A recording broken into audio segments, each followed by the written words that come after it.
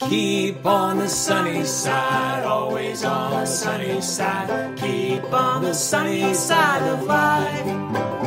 It will help us every day, it will brighten all the way. If you keep on the sunny side of life.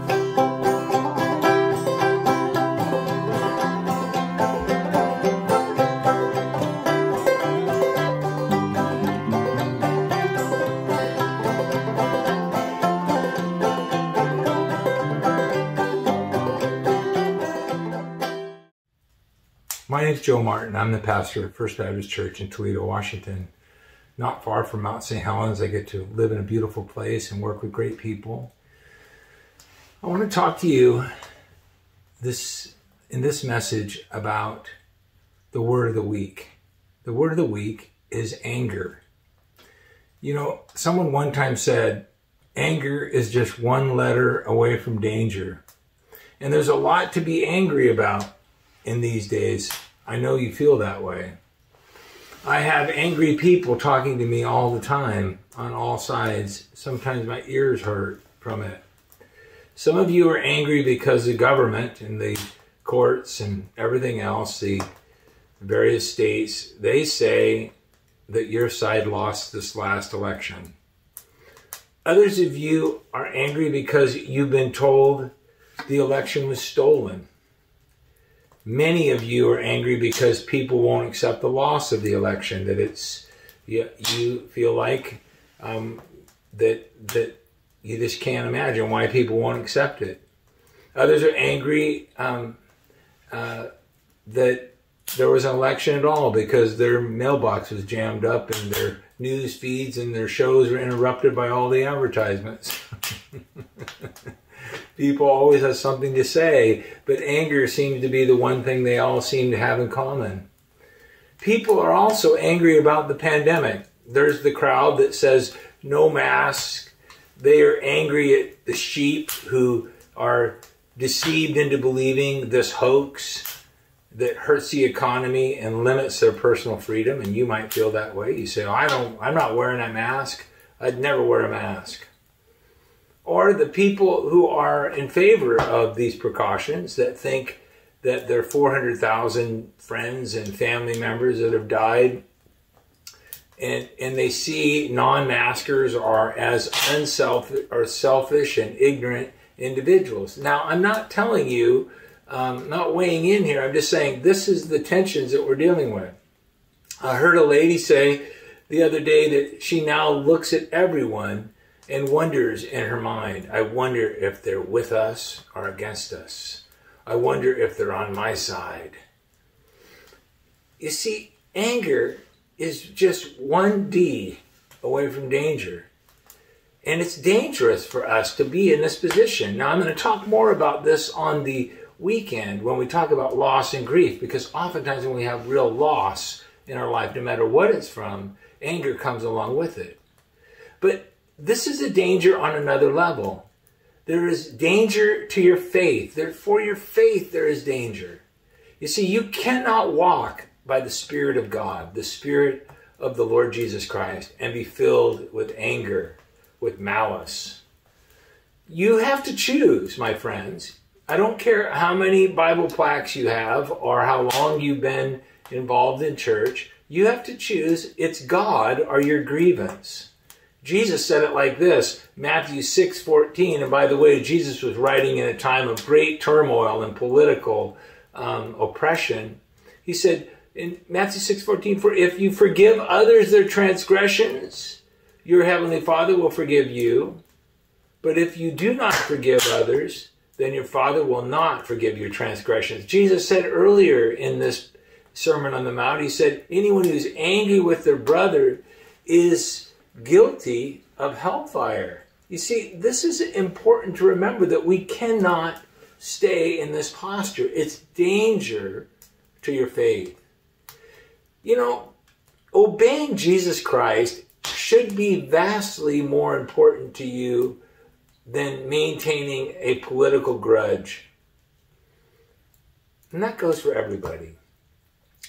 Secondly, anger is, is is very close to danger and it's danger to your family. You know you can hurt each other when you get angry, whether it's for five minutes, five minutes or five years. You see, you say things when you're angry. You put things on Facebook when you're angry. You do things that you wouldn't utter, otherwise do.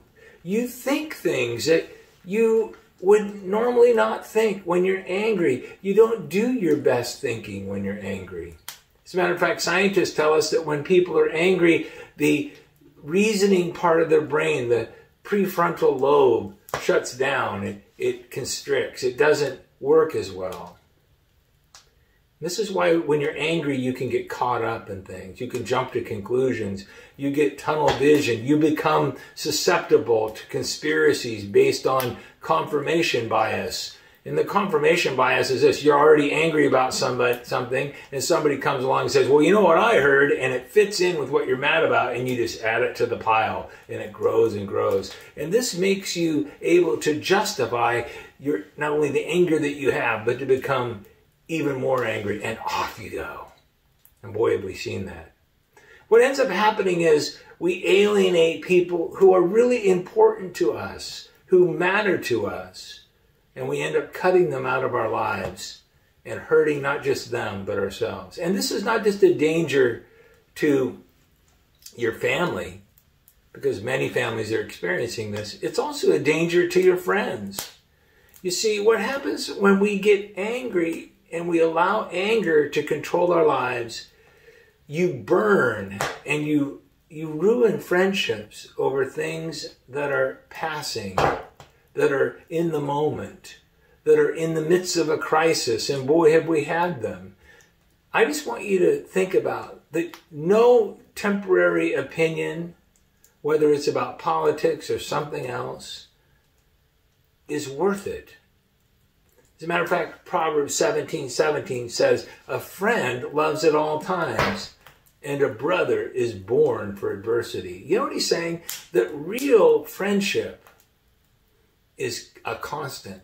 Up good times and bad times, and people um, when people are hard to deal with. We live in a society where once upon a time we worked things through because we needed each other, but because of all of our wealth and our technology, we've become more independent, which breaks into a radical independence that can make us say, I don't really need my parents. I don't really need my kids. I don't really need my friends. I don't really need my church. I don't really need anybody anymore. I'm just going to be a congregation of one. And the sad part about friendship when anger is involved is you might not be angry at your friend, but you may pull them into your grievance, into your anger. Are they into yours? And you and they will help poison each other instead of help sweeten each other. So that's why Proverbs 22 24 says, Do not associate with a man given to anger, or a woman for that matter. Or go with a hot tempered man, somebody who's always getting spun up. They see something online, they see something on the news, and they get spun up, like somebody I knew who kept having to get TVs because he'd throw things at his flat screen.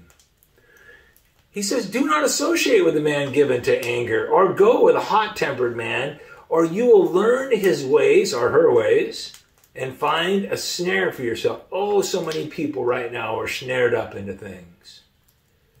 And not only is it a danger to your friends, but it's also a danger to fellowship.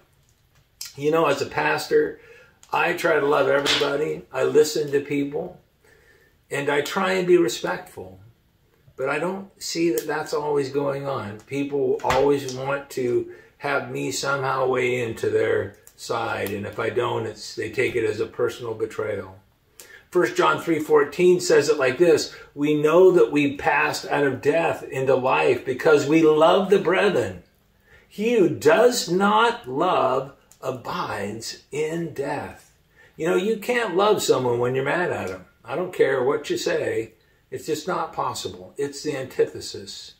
Now, you can forgive them and start loving them, or you can love them and get mad at them and then forgive them and start loving them. But while you're mad at them, you can't love them. In 1 John 3 uh, 15, it says, Everyone who hates his brother is a murderer, and you know that no murderer has eternal life abiding in him. And then he goes on and he says, Well, you say, well, what's he mean by love? We know love by this, that he laid down his life for us, and we ought to lay down our lives for the brethren. This is the other John 3:16. This is why fellowship is so endangered by your anger and by the anger that we see everywhere else, and especially in churches that are being ripped and shredded apart by these various cultural and and stressful things going on in our society. We know love by this. How? That he laid down his life for us, not just people that were good or people that we all agreed with, but people um, that shared his particular politics. By the way, Jesus didn't embrace a political um, agenda. As a matter of fact, all the dominant parties of Jesus' day didn't like him and wanted to see him dead. You see, you lay down your life for the brothers. Sometimes that lay means laying down your grievance. That means sometimes it lay down your opinion. You see, you know what love does? It's love, not anger, that reveals you as a child of God. It is your love. By this, all men will know you are my disciples, by your love for one another. It is, you can't let anger drive you. You can't, we can't let, and us as a, as fellowships, we cannot let anger drive us apart. Because you see, what the world needs right now is the unexplainable community. Not a bunch of ragers calling their anger righteous indignation because they want to justify their carnality. Anger is a danger to fellowship, but it's also a danger to our country. You know, Abraham Lincoln made a statement. He said, We cannot be enemies. We really can't. We can't be enemies and, and have a, a civic life together. You know, you and I, as followers of Jesus, have much work ahead. It's your job, if you're a follower of Jesus, you know, you're if you're a follower of Jesus, you're not called to be a social media warrior or a political partisan. That's not your job. You're to represent him. You must be what he called you to be, which is a peacemaker, if you want to be called a child of God. You know, Matthew 5 9 says in one translation, Happy are those who work for peace. God will call them his children. Peacemaking is hard work. It takes a lot of, well, it takes a lot of patience. Sometimes it takes some tongue biting. Last week I made a venison and barley soup, and I was excited. And I have a hard time making small soups. You know, we had a big family, and I have a hard time scaling them back. But I was trying, and I had it all together, and I began to try and put the spices in, and I just put too much pepper in it. And when I tasted it, I thought, oh no, I ruined it. It was just flaming hot. And then I thought for a second, oh, I almost ruined it. But then I was saved by my special sauce. Right out of my own orchard, it was this, this special stuff. Honey, now this is a little granulated, but it's so good. And I put a, some of this honey in it. I sweet, sweetened it.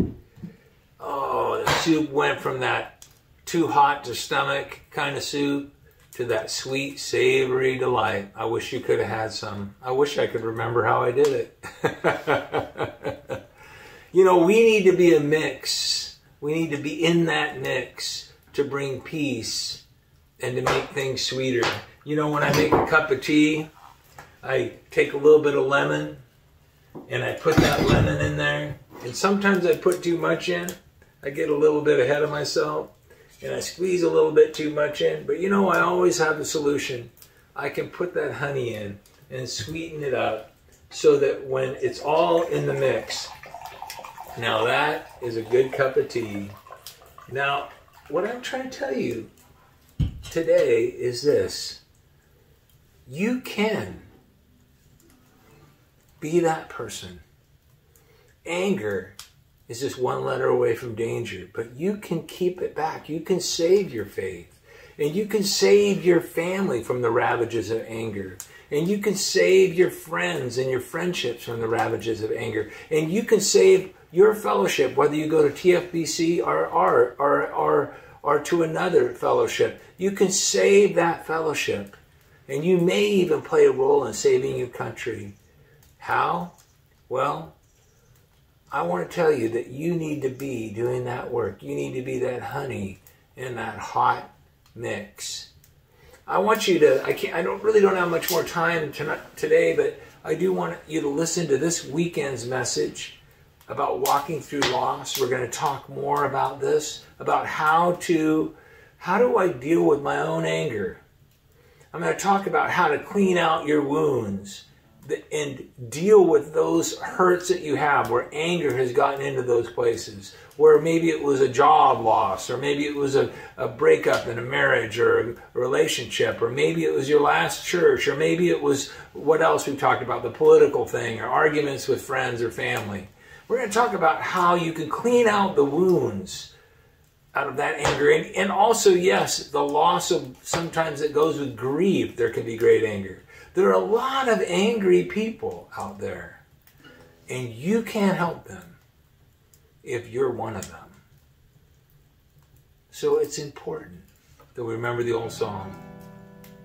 And they'll know we are Christians by our love, by our love.